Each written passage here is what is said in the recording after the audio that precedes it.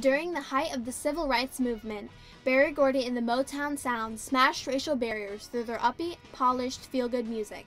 Using their hard earned popularity, they eased racial tensions and made multiple number one hits that had black and white Americans dancing in the street. From the Marvelettes' Please Mr. Postman to the Jackson 5's ABC, Motown created music that had no barriers. Breaking into the Billboard Hot 100, how Motown got everybody dancing in the street.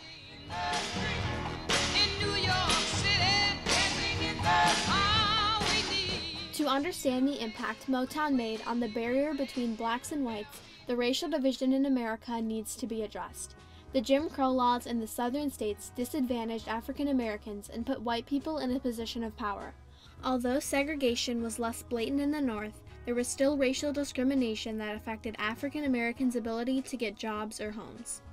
In the years following World War II, black soldiers returned from fighting overseas, having been seen as heroic Americans equal to their white counterparts. They were faced with the reality that what they fought against overseas was still present for them in their own country. This led to the struggle for social justice known as the Civil Rights Movement. The Motown record label was created in 1959 in Detroit, Michigan by a man named Berry Gordy. His family moved from the South along with many other African Americans to escape segregation and the Jim Crow laws. The automobile business in Detroit made it one of the fastest growing cities in the country.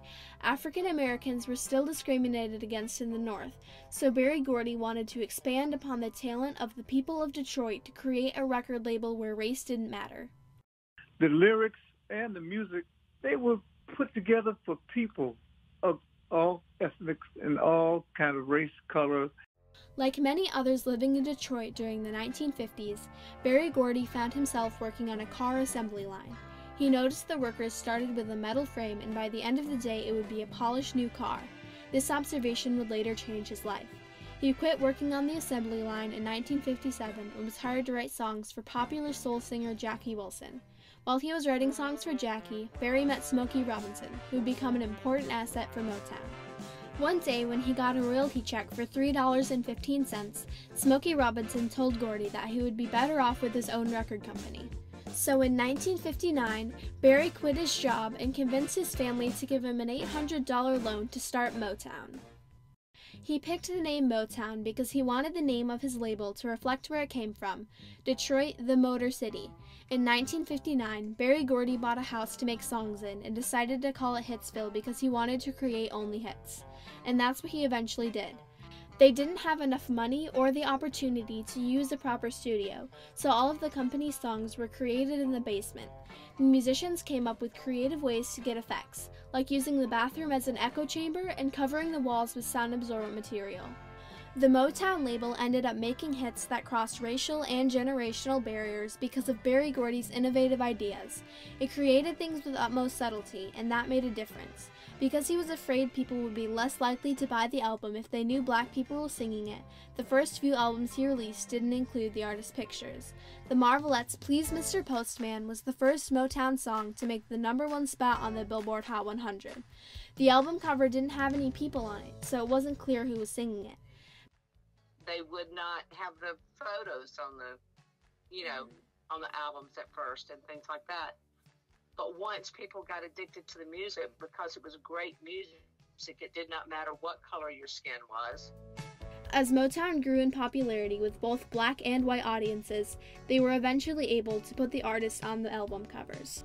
Taking reference from his time working on the Ford Motor Assembly line, Berry used the same approach with the musicians. He went to bars, nightclubs, and street corners to find raw musical talent that he could put down an assembly line of training and turn into a Motown musician, giving them opportunities they would never have otherwise had. Motown was started in Detroit, and it was started in a community where um, there was a lot of African American population. So it allowed artists and people to have a platform to be able to get out their music where it normally would not have been able to. Berry Gordy knew that if Motown was going to be successful, it would need to appeal to a wider audience that included both black and white listeners. I felt I wanted to do music for all people and it just turned out that people began feeling it, and black people, white people, Jews, Gentiles, cops and the robbers. I mean, all loved Motown. The musician's public appearance was important because they wanted to break racial stereotypes and present themselves gracefully. He put them through different classes to teach them how to be a star. For things like four part harmony and voice lessons, he hired Maurice King. Cholly Atkins taught them sharp choreography for their performances, including the Motortown Revue Tour. Maxine Powell was in charge of taking care of their outward appearance and teaching them how to present themselves socially. She was the reason for their sharp suits, matching dresses, and overall class.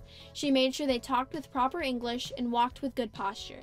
This was a subtle way to make their music more appealing to white people. You've got this black artist or black band performing, and then pretty much when you look out in the audience, there's a sea of white people. Berry Gordy knew that the big radio stations would not accept him or his music because of his race. This barrier was very prominent for Gordy and the people working for Motown. They had to come up with different, progressive ways to work around it. He hired white people to present his records to white radio stations so they would be more likely to accept Motown's music.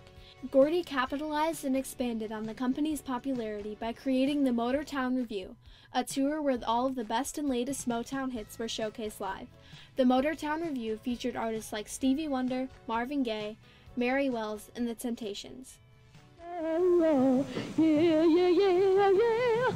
Clap your hands just a little bit louder. Clap your hands just a little bit louder. This tour became popular all over America and was soon visiting every state, including the southern states. At that time, America's South was full of social injustice and legal discrimination against black people. The Motown musicians were sometimes threatened and had to abide by the Jim Crow laws while they were in these states. But they were still allowed to perform, although it was to segregated audiences. One of the most popular songs at these shows was Dancing in the Street by Martha Reeves and the Vandellas. It got everyone out of their seats and dancing around. By the end of the show, the segregated audience had mixed, and no one could remember where their seat was.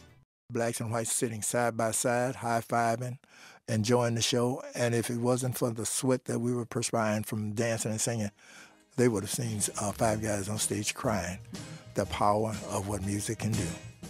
At that moment, the music was the only thing the audience cared about. Motown made music for all people, no matter what you look like, no matter where you came from. For the moment, the outside world and social prejudices were not in effect. This was an early example of the impact of Motown on segregated America. A big milestone for Motown was when some of its artists appeared on The Ed Sullivan Show, one of the most popular television variety programs. This was another big step in their rise to stardom because it showcased their talents to white audiences. When I saw the Supremes on TV that night, it was magical to me because I had never seen black women on television, although we were called colored at the time, or anywhere for that matter, who conveyed such glamour and such grace. As the Motown sound was getting more and more popular, the musicians were working around the clock, getting Billboard Top 10 hits weekly, often taking the number one spot with songs like My Girl, Where Did Our Love Go, and Money. From 1960 to 1969, Motown had 79 Billboard Hot 100 Top 10 hits, which is more than the Beatles and Elvis combined. They had a universal audience that had no barriers and a positive influence on the world. They did shows in the UK, and even the Beatles covered their songs. Similarly to the time the Beatles came to America, the people living in the UK waited at the airport for the Motown artists to arrive. At a time where our nation was defined by barriers, Motown provided a way for people to come together and find common ground. The 1967 race riots tipped some of the Motown artists over the edge and made them want to make songs that were more politicized. Songs like Edwin Starr's War and Marvin Gaye's What's Going On addressed issues like the Vietnam War and social injustices still remaining in America. They released a civil rights album called The Great March to Freedom that consisted of an early version of Martin Luther King Jr.'s I Have a Dream speech. They wanted to make his message available to everyone. Motown's timeless effect is still felt today. The Motown sound helped ease tensions amidst the rapid changes accompanying the civil rights movement and helped open the door for future African Americans. The Motown record label used its popularity to help break down racial inequalities in America and get all people dancing in the street.